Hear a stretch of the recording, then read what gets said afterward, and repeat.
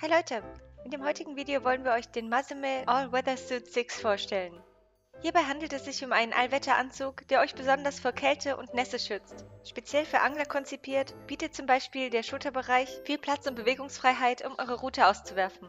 Das besondere Ratex-Material ist wasserdicht und atmungsaktiv und ähnelt dem Material einer Fliegerjacke. Das Fließinnenfutter hält euch warm und schützt besonders an sehr kalten Tagen. Durch den unteren Gummibund kann kein Wind eindringen, aber wir gehen gleich noch einmal darauf ein. Eine weitere Besonderheit dieser Jacke ist der sehr hohe Kragen. Dieser schützt euren Hals und euer Gesicht vor Kälte und Wind und ist zudem innen sehr flauschig. Das nächste, was wir euch gern zeigen möchten, ist die linke Brusttasche. Sie ist groß genug, um ein großes Smartphone darin zu verstauen. Ein iPhone 8 mit Hülle passt zum Beispiel problemlos hinein.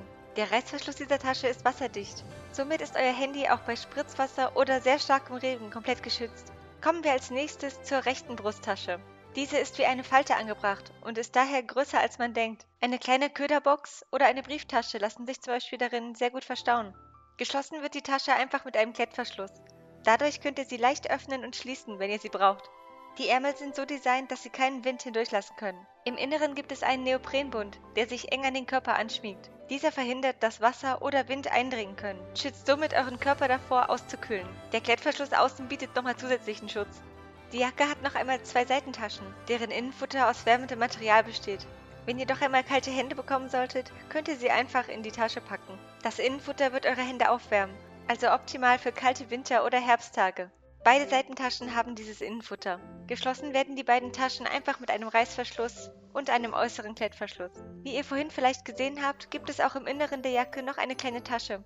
In diese Innentasche könnt ihr zum Beispiel ein großes Smartphone, eine Brieftasche oder euren Schlüssel packen. Alle Wertgegenstände, die ihr gern etwas sicherer verstauen wollt, könnt ihr hier reintun. Wie bereits erwähnt, hat die Jacke unten im Inneren einen Gummisaum. Dieser schützt davor, dass kalter Wind nicht in die Jacke eindringt. Dafür einfach mit den Knöpfen vor dem Körper schließen. Dabei kann man entscheiden, ob man es lieber lockerer oder fester zumachen möchte. Einfach die entsprechenden Knöpfe aussuchen.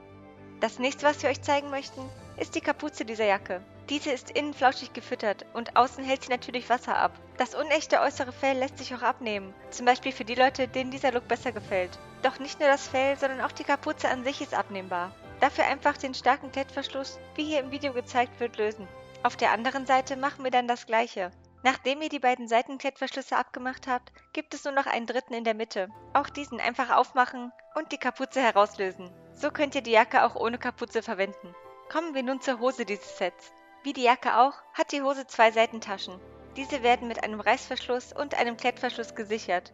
Auch die Hosentaschen sind mit dem wärmenden, flauschigen Material gefüttert, das ihr auch schon bei den Jackentaschen gesehen habt. Dadurch könnt ihr eure Hände auf verschiedene Weisen wärmen, wenn es kalt ist.